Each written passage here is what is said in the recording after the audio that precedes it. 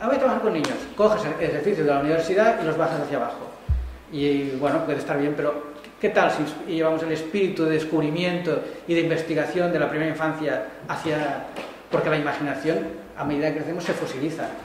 O sea, aprendamos, no, no pues eso era la idea, en la teoría mezclando artes, cada color es un arte, vamos a mezclarlas para todos los alumnos, un seguimiento, el trayecto del alumno con un seguimiento, una evaluación cualitativa, no cuantitativa, no tiene que haber exámenes. Esto no es educación obligatoria, esto es lo hace quien quiere. Esto era una intuición, el puesto es un currículum, a la, esto es la columna por edades y por disciplinas. No sé qué pone cada cuadrito, los profesionales tendrían que rellenarlos. Pero y proponemos cursos por proyectos por edades, donde mezclas artes, ¿no? Es un proyecto de circo, mezclarías música, espacio, eh, danza.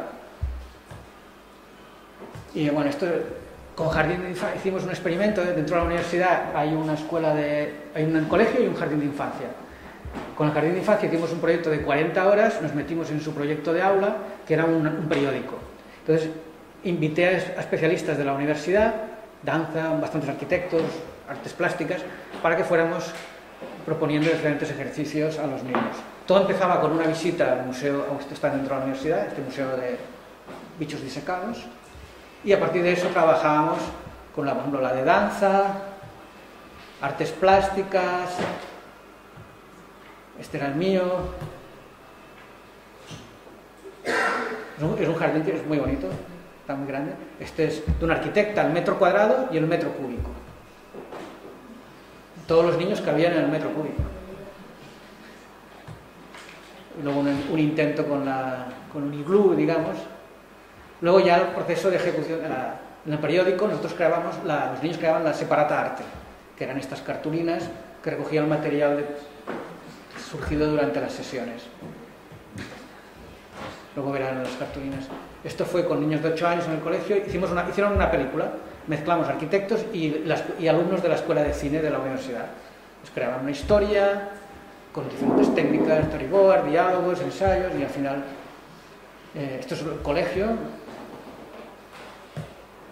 interesante ver los espacios, ¿no? Es un colegio público pero muy especial porque está dentro de la universidad. O sea, tiene un tipo de alumnos distintos, son los hijos de profesores o administrativos. Temas en el primer plano, tal, temas de animación, había un momento de stop motion, grabación en el patio del colegio, grabación, ellos construyeron también, propusieron el set y grabamos. Y luego también hicimos un libreto de ópera, pero solo el libreto, con 100 alumnos conmigo, complicado, 13, 14 años, eh, no se hizo la música. Y muy interesante el libreto y también la violencia de todos los temas, es su realidad. Está lleno de soldados mutilados, niños que le faltaban piernas. No sé, les da el melodrama, pero es que también es el entorno que viven, que oyen cada día. ¿no? Finalmente la exposición en el, Museo de Arquitectura que está dentro de la universidad para ver el resultado. Bueno, aquí solo me sabían las, las peliculitas, fotos, explicaciones. Esto es lo del jardín de infancia, la separata arte, digamos, era esto. Aquí está el periódico que hicieron ellos, con secciones, sociedad, política, bueno, política no, claro, no sé qué, y nosotros hicimos la separata arte. Pues eso. es que ya casi no queda tiempo. Solo que eh, los últimos proyectos que les enseño es el esfuerzo que hemos hecho. A mí me han dicho que soy coordinador del, grupo Playgrounds. Yo no soy coordinador de nada. El grupo Playgrounds son la gente que enseña arquitectura para niños en España o en Península Ibérica o como quieran llamar. También hay gente de muchos países que intentamos vernos para conocernos, compartir objetivos y a, ver, lo mejor todos juntos llegamos más lejos que solos. ¿no? Entonces hemos hecho una serie de encuentros, esto es un gráfico que hizo Virginia Navarro de lo, que ha sucedido hasta ahora, le dio esta estética de metro. Entonces, ustedes ven, un encuentro se hizo en el 2014 en el Museo Reina Sofía, donde nos vimos 40 personas, nos vimos la cara, otro en el 2014 en Barcelona, uno en enero del 2016 en el Museo Reina Sofía, que ya invitamos a extranjeros para que conocerlos y que nos conocieran. En Medialab Prado se han generado también unos encuentros a partir de unos intereses que eran los juguetes de arquitectura. Hay varios que trabajan en este tema, como Fermín Blanco aquí en la SEOANE. Eh, ¿Qué más me dejo? Bueno, en, Porto en mayo hubo otro encuentro, también centrado en juguetes de arquitectura. Eh, estos cursos también son un poco, el eh, nacen de ahí, si no hubieran esta gente, este grupo Playgrounds, estos cursos nunca hubieran surgido porque y la idea también es un nuevo máster que ofrece la Autónoma de Madrid sobre diseño y gestión de espacios y materiales educativos, dos puntos, arquitectura y educación. Que si se apuntan alumnos, se hará y si no, empezaremos en septiembre. Eso es lo que digo, o sea, especialistas de, espacios de, enseñanza en España, a mí yo no sé si hay alguno. O sea, especialistas que hay gente que hace cosas. O sea, ustedes son especialistas en su uso. Otros habrán hecho algún patio, otros la reforma de algún colegio privado, que es más fácil. Pero, a ver, ¿quién es el especialista? No hay, porque tampoco se ha hecho mucho. No se hace especialista con la práctica.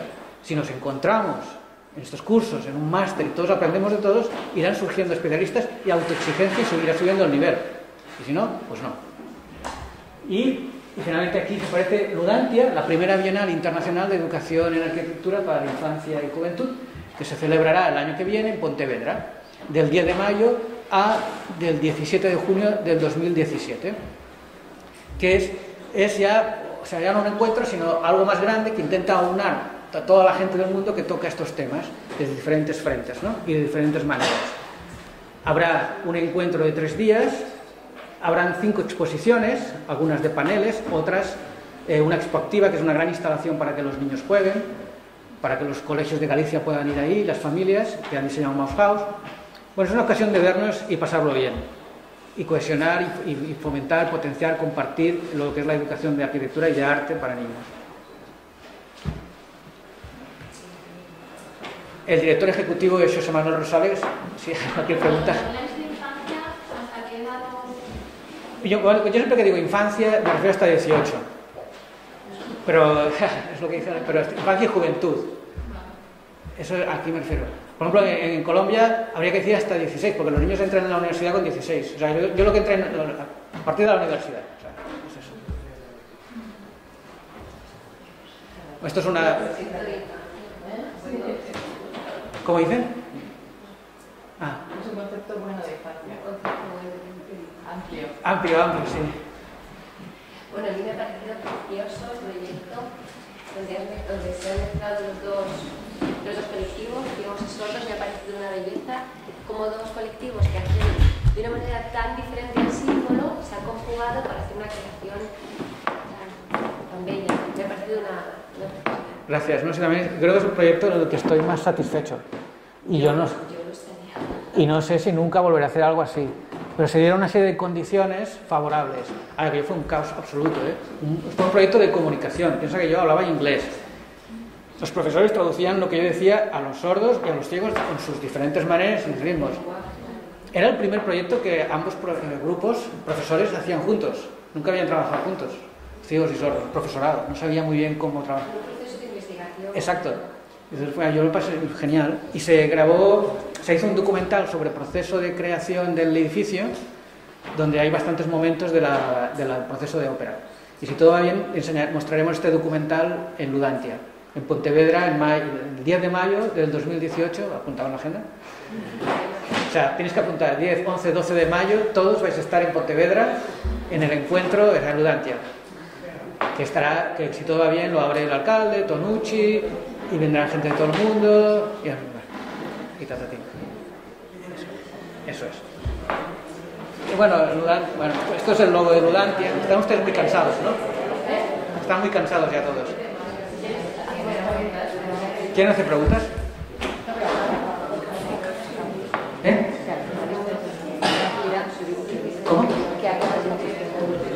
Ah, que acabe con tranquilidad. No, es que yo quería hacer una pequeña práctica con ustedes, o sea, yo lo, quería, lo que quería, dígame. Perdona, eh, ¿va a haber posibilidad de que los colegios hagan una actividad? Me refiero, ahora a mí ahora preparar algo con los niños para llevarlo ahí y presentarlo. Sí. Mira, bueno, Ludantia, que está oficialmente organizado por el Colegio de Arquitectos de Galicia y lo paga el Ayuntamiento de la Diputación de Pontevedra, es un esquemita que es un esquema Tiene varias fases. o sea, fíjense, es una línea del tiempo. Hay esto, el círculo es el evento en sí, en Pontevedra, que dura del 10 de mayo al 7 de junio donde suceden el encuentro y unas exposiciones. también, entonces, la fase 1 está en marcha y puede participar quien quiera, personas, instituciones. Lo que llamamos fase 1 es una convocatoria planetaria. En este momento hay 160 y pico preinscritos de 23 países. Hay mucho colegio. Y entonces la idea es que hagan proyectos con niños, tienen que hacer los niños, en compañía de los adultos, sobre el tema espacio público, en un concepto amplio. Puede ser con colegios, sin colegios, mezclando gente de fuera del colegio. Hay varias modalidades. Proyecto corto, proyecto largo, proyecto metodológico. Tenemos bastantes apuntados que están transformando patios. Pero puedes hacer, también puede ser el espacio público como concepto simbólico. Puedes hacer una obra de teatro sobre el espacio público. Si ayudas al niño a reflexionar sobre el espacio. Entonces, bueno, la mayoría de mis preinscritos son gente que está haciendo cosas físicas, ¿no? en el patio, en la plaza, en el comedor o lo que sea. Y tiene que estar firmado por los niños. No me vale que el arquitecto, firme el arquitecto y... Esto, se hace, está en marcha desde septiembre del 2016. Te puedes preinscribir cuando quieras y la documentación de esto se entrega a finales de noviembre, de lo hecho. En las bases decimos qué tipo de documentación. Muy sencillo. esto es la fase 1. La fase 2, la llamamos sencillamente, hay un comité científico con cinco países, o cinco países, está Santiago Ate de la Autónoma, pero hay otros especialistas, que hacen una selección de proyectos y dan tres premios. Entonces, ya pasamos a la fase 3, que es la punta de la isla, la fiesta, el evento. Ahí habrá una exposición de todos los proyectos seleccionados. Entonces, ahí, ahí puedes... Eh, los premiados son invitados a Pontevedra a reproducir la experiencia de alguna manera. Luego está la expoactiva, que es una, eso, es, una manera de participar con la fase. Hay otra manera, bueno, que sea con la expoactiva, que es la instalación para que los niños jueguen a arquitectura, que hay que agradecer eso. Pero bueno, se van a organizar excursiones con colegios, ¿verdad? José Manuel aquí lo va a organizar todo muy bien, va a llenar todo de colegios o de familias para que hagan estas, este juego. Otra manera de participar. Eh, luego va a haber unos talleres en las plazas de Pontevedra, más o menos a partir de marzo cada sábado, cada dos sábados, invitaremos a profesionales de España para que vengan a hacer una formación al profesorado y un taller en espacio público que se va a grabar y registrar bien para que cualquier profesor o quien quiera lo pueda hacer cuando quiera. ¿Mm? Esto también, otra manera de participar, bueno, yo creo que son las familias, ¿no? Es que van sábado abajo, es otra manera. De momento no tenemos otras maneras o sea, nos hemos ocurrido. Pero yo es que invito a todo el mundo a que en la fase 1, ya queda poco tiempo, hasta noviembre, puedan hacer algo y hay bastantes colegios de Galicia apuntados. ¿Cuánto, no? ¿Alguna pregunta? No, si queréis hacer alguna pregunta. Sí, es casi la hora, no sé si hay tiempo para la práctica, no me decía nada, una cosa, ¿no?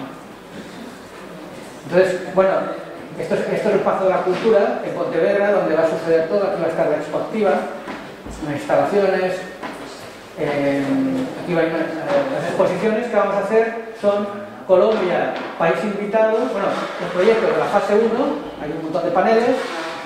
Una otra pequeña exposición de Colombia, país invitado, que lo estoy preparando, de proyectos colombianos, que hay muy buenos, que de alguna manera combinan educación, infancia y arquitectura hay algún edificio de jardín de infancia, pero la mayoría son proyectos con personas, con madres comunitarias. Hay una exposición de la Fundación Bernard Van que es holandesa, que trabaja con primera infancia en todo el mundo, primera infancia y ciudad, está empezando ahora con esto.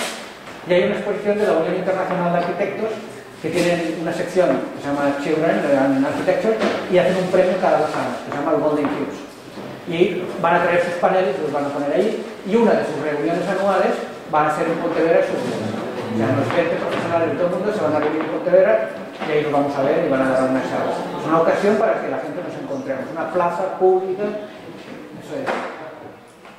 Bueno, este es el auditorio donde estaremos, donde ustedes van a estar, ¿verdad? El 10 de mayo. Habrá unas mesas, ¿verdad? Eh, bueno, estos son otros proyectos que, que la Escuela de Arquitectura Educativa está preparando la autónoma para canalizar cursos como este, el máster. Y la última cosa, el máster. Y estamos preparando un encuentro que está formulado, o sea, enunciado, no es en el Museo de Sofía otra vez, en, en enero de 2019, sobre infancia, arquitectura y educación, más dos palabras más, diversidad e inclusión. Y la idea es estamos en julio de 2017, es ir poniendo en marcha proyectos que potencien esto. Claro, también tenemos que definir, a qué nos referimos con diversidad e inclusión. Si son con todo tipo de diversidad e inclusión, o solo discapacidad, o como, como llamen, eh, eh, física o psíquica, parece que va a ser un poco amplio, ¿no? Hay problemas de diversidad sexual, homofobia, temas de raza, no sé, vamos a ver. Y estos proyectos, si ustedes conocen algunos, saben algunos, se pueden ir canalizando y se muestran. Otra vez, un encuentro en Reina Sofía, que lo vamos a hacer con la Autónoma de Madrid, pero informado, o sea, precios populares para que vaya quien quiera, o sea, no tendrá la pesadez académica, sino es una ocasión de visibilizar el problema, de encontrarnos, de vernos y hablar en el pasillo, tomar café. Eso. Y ya para acabar, pues ya que no vamos a hacer la práctica, lo, lo que les quería pedir es que me dibujaran como un esquema de su jardín de infancia ideal, de un kindergarten, porque no sé cuál es, porque estoy trabajando un tema en Colombia y cómo es en su cabeza el esquema de un jardín de infancia, pero no hay tiempo. Si quieren lo hacen, me lo envían por correo. Yo creo que lo ideal es no tener ese concepto. No tener. No, no tenerlo, tener el espacio blanco conforme vayan viniendo los niños, ¿no? Se te vaya generando el espacio. Yo creo que ese es el ideal, ¿no? El espacio en blanco, bajo mi punto de vista. Puede ser, por ejemplo, ¿cuál es la relación entre interior y exterior? Hay un patio, está en el centro, está en el radio media parece que la cocina tiene un papel muy importante. ¿Dónde ponemos la cocina? ¿Cómo tiene que ser la entrada de luz? Los espacios de transición. Eh, los trabajos de esta zona de trabajo, ¿cómo es? ¿A qué se parece? O sea, porque al final los centros de educación se acaban partiendo a sí mismos, no tienen esa proporción. De pronto entras en un centro de educación que a lo mejor está, utilizando un edificio que antes era para la industria y dices, anda, pues qué interesante, ¿no? Puede ser. Pero yo no lo sé. Mira, para la exposición Colombia, país invitado, le voy a enseñar unos.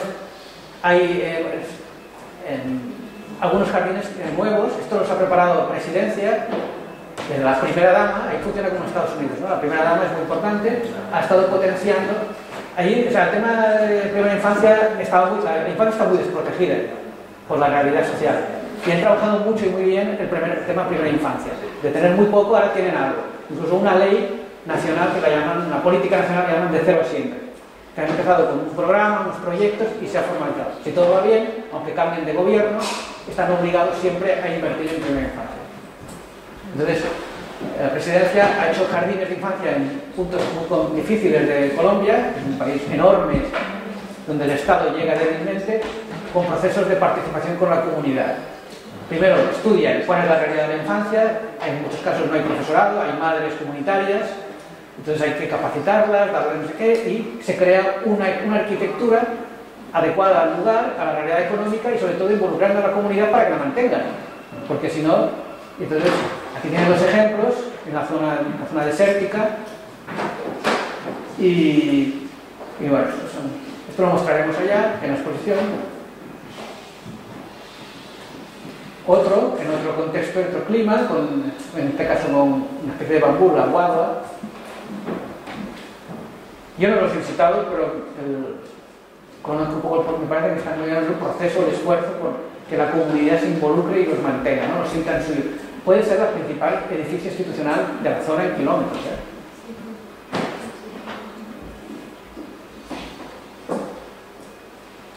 Y en Medellín, por ejemplo, la alcaldía, el ayuntamiento, hizo y construyó 20 jardines en cuatro años.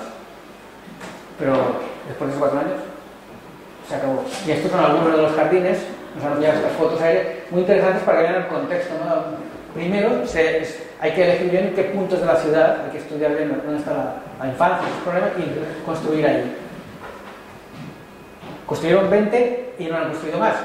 Y una persona del ayuntamiento me decía, necesitaríamos seguir en este ritmo de construcción y en 100 años cubriríamos las necesidades actuales.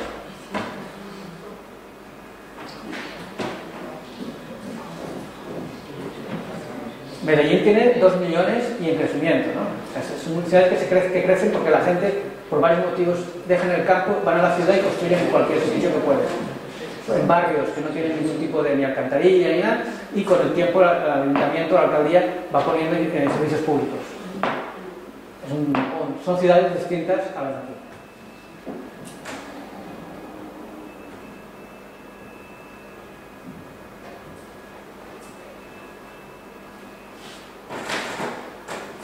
Ah, este es otro colegio singular, el mejor arquitecto colombiano de, este, los últimos 100 años, es Rogelio Salmona, maravilloso, y, construyó dos jardines de infancia, con la, misma planta.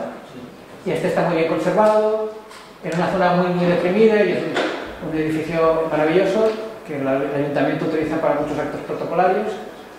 Y lo visité, hice fotos y he hablado con su viuda de Salmona y me ha pasado los planos. En este caso, había, hay problemas, había en origen y aún los hay para el funcionamiento como jardín, está pensado como jardín, pero son materiales muy duros, había problemas de humedad y tal, se han ido solucionando, pero también eh, una arquitectura ejemplar, la entrada de luz y la arquitectura educa. La madera. El plano, hay, un gran patio central, las están arriba y abajo, los pisos, la rampa como articulador y zona de comedor y... Bueno, estos son otra- otros proyectos de la exposición. Fundación Carulla eh, gestiona tre- 13.000 niños en Colombia, primera infancia, y ahí está de moda el Reggio Emilia. Todos siguen Reggio Emilia, van a Reggio Emilia, traen gente de Reggio Emilia. En, en este caso, pues, hay interiores Reggio Emilia, y lo hacen muy bien.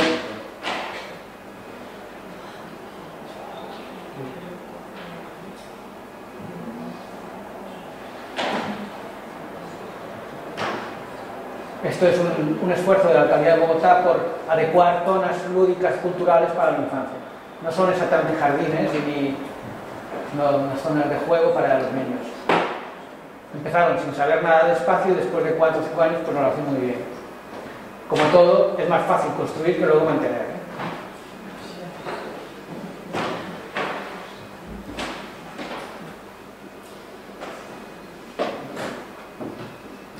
Esto está en Medellín, gestionan 15.000 niños. Aquí solo he puesto, han construido solo dos edificios. No, y este esquema de un niño de lo que es un jardín. ¿no? La luna, los árboles, el bosque. Por eso yo quería saber cuál era su esquema, ¿no? Para copiarlo, ¿vale? Y. Ah, no, estoy, estoy anexo. Ah, no, está todo desordenado ya. Fin.